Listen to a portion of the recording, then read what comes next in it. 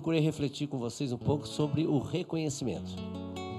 Porque o reconhecimento é também um estímulo, né? um estímulo para todos nós. É, faz com que a gente se sinta útil. Né? Toda vez que você é reconhecido, você se sente útil. E só nos cabe onde a gente é útil. Onde a gente não é útil, a gente fica sobrando ou faltando, não é verdade? E, e o nosso espaço é onde a gente é necessário, a gente, onde a gente é, é útil.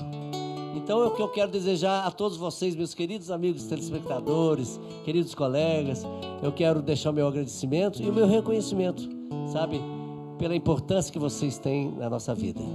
Vocês que dão existência à nossa arte, à nossa obra.